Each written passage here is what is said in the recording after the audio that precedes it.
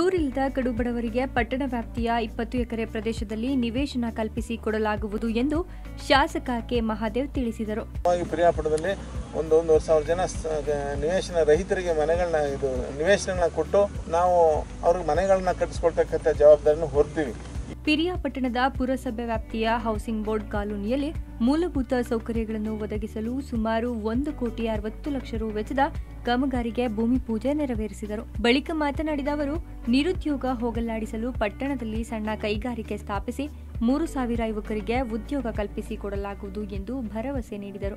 ಮನೆ ಮಾಲೀಕರು ಸಕಾಲದಲ್ಲಿ ಮನೆ ಕಂದಾಯ ಪಾವತಿಸಿ ಪುರಸಭೆ ಅಭಿವೃದ್ಧಿಗೆ ಸಹಕರಿಸುವಂತೆ ತಿಳಿಸಿದರು.